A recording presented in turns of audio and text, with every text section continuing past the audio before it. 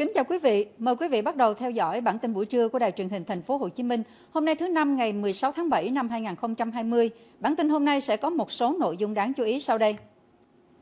Tại buổi tọa đàm dưỡng da khoa học, giải pháp trắng da mờ nám an toàn và hiệu quả vừa được diễn ra tại Hà Nội, các chuyên gia đã đưa ra nhiều khuyến cáo cho việc sử dụng các viên uống trắng da để làm trắng da nhanh toàn thân. Theo các chuyên gia, ngoài chế độ ăn uống, tập luyện thể thao, cần sử dụng thêm các sản phẩm có thành phần tự nhiên giúp da được chăm sóc sâu từ bên trong. Sản phẩm viên uống trắng da và chống nắng nội sinh Freisa xuất xứ Nhật Bản chính thức ra mắt tại thị trường Việt Nam, được chiết xuất từ tinh chất nhau thai ngựa, men nấm Nhật, tảo xoắn Nhật cùng các thành phần vitamin tự nhiên khác.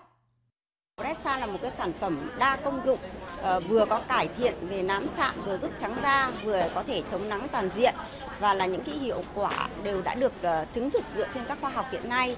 Đây là một cái công nghệ làm đẹp 3 trong 1 đang được ưa chuộng hiện nay tại nhiều các quốc gia. Fresa đã được Bộ Y tế cấp phép lưu hành. Trước tổn hại da hiện nay do môi trường tác động, viên uống Fresa là một trong những lựa chọn ưu tiên của khách hàng.